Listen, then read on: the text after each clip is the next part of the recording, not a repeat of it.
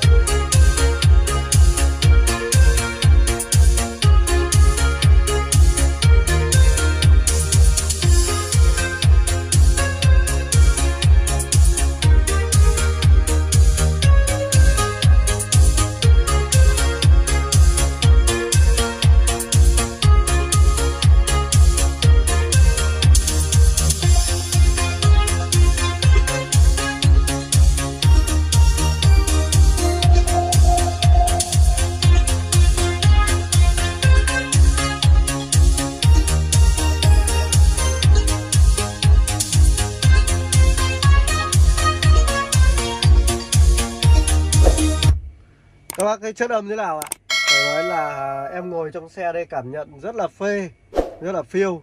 Với cái đoạn nhạc vừa rồi thì các bác lên ờ, đeo ngay cái tai nghe vào để chúng ta cảm nhận nhá.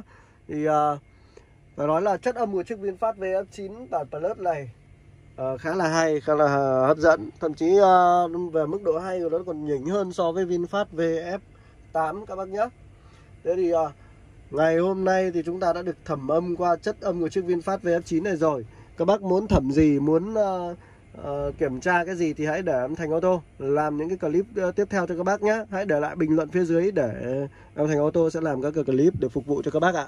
Còn bây giờ thì em thành ô tô xin phép được tạm dừng video này tại đây. Cảm ơn tất cả các bác đã quan tâm theo dõi và ủng hộ kênh youtube của thành ô tô trong suốt quãng thời gian qua đừng quên là đăng ký kênh nhấp vào hình quả chuông bên cạnh để nhận được những thông báo mới nhất. Khi mà em thành ô tô ra những video clip tiếp theo em xin cảm ơn. Xin chào và hẹn gặp lại.